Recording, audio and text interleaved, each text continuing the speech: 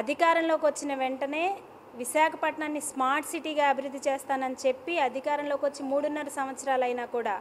విశాఖపట్నంలో సంబంధించినటువంటి పరిసర ప్రాంతాలని విశాఖపట్నం వాతావరణాన్ని విశాఖపట్నం ప్రకృతిని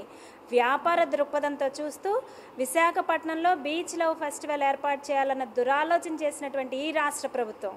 ఇప్పటికీ తన తీరు మార్చుకోకుండా మరలా విశాఖపట్నంలో మిస్ వైజాగ్ పోటీలు ఏర్పాటు చేయడానికి సన్నద్ధం అవడం మరి దానికి సాక్షాత్తు మరి విద్యాశాఖ మంత్రిగా ఉన్నటువంటి గంటా శ్రీనివాసరావు గారి పోస్టర్ రిలీజ్ చేయడం అనేది చాలా తలదించుకోవాల్సినటువంటి చర్య.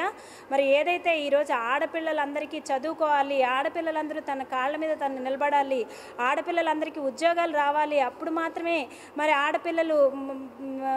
ఆర్థిక స్వావలంబన చేకూర్చిన రోజున మాత్రమే ఈ రాష్ట్రం అభివృద్ధి జరుగుతుందన్న ఆలోచన చేయాల్సినటువంటి మంత్రి స్థానంలో ఉన్నటువంటి గంటా గారు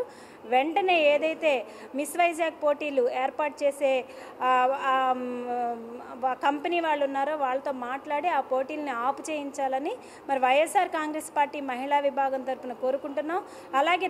ఈరోజు విశాఖపట్నంలో ఉన్నటువంటి మహిళలు అన్ని మహిళా సంఘాలు ఈరోజు ముక్త కంఠంతో ఈరోజు మహిళల్ని విలాస వస్తువుగా చూడకండి. మహిళలు అందాలను చూపించడానికి మాత్రం పనికొచ్చే విధంగా మహిళలను వాడుకోవద్దు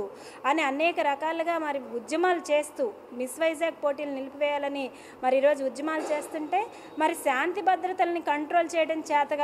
ఈ పోలీసు యంత్రాంగం వాళ్ళ ప్రతిభలంతం తీసుకొచ్చి మహిళల మీద మరి ఈరోజు దాడులు చేయించి ఎవరైతే మిస్ వైజాగ్ పోటీలు పెట్టొద్దన్న మహిళల మీద దాడులు చేయించి వాళ్ళని అన్యాయంగా అక్రమంగా అరెస్టులు చేయించి ఈరోజు వాళ్ళ మీద తమ ప్రతాపాన్ని చూపించడం మరి ఈ పోలీసు యంత్రాంగం యొక్క సమర్థత ఏంటనేది తెలుస్తుంది. అలాగే మొన్నటికి మొన్న ఒక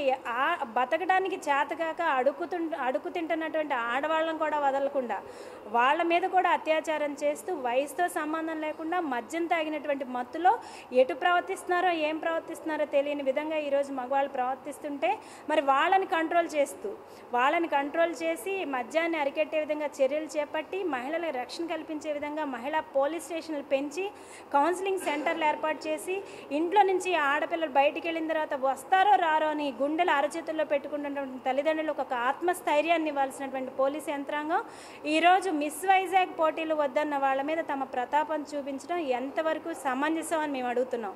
వెంటనే పోలీసు యంత్రాంగం గారు ఆ పోలీసు యంత్రాంగం కానీ అలాగే కమిషనర్ గారు కానీ ఈ విషయంలో వెంటనే చొరవ తీసుకొని అందాల పోటీలను ఆపు చేసేసి అలాగే ఏదైతే మద్యం ఏర్లే పారిస్తున్నారో వాళ్ళ మీద ఏదైతే